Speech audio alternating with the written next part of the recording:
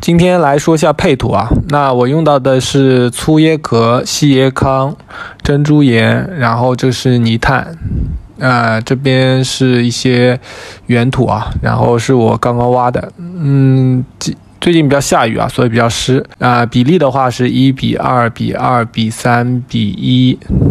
然后准备给这棵朱顶红换个盆啊，这名字叫做阿弗雷，啊，原土的话说一下，看你当地的环境，如果干得很快的话，我建议你可以多放点原土。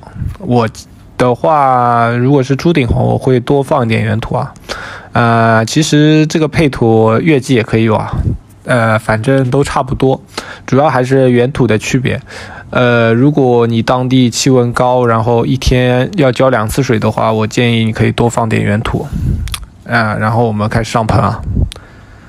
朱顶红的话比较皮实，嗯，基本上我一般都是用原土比较多啊。嗯，然后我们直接给它放进去。嗯，再给大家看一下根系啊，根系还是挺健康的，呃，生长还是挺旺盛的。像月季的话就不行了，月季这个盆土很容易烫伤它的毛细根。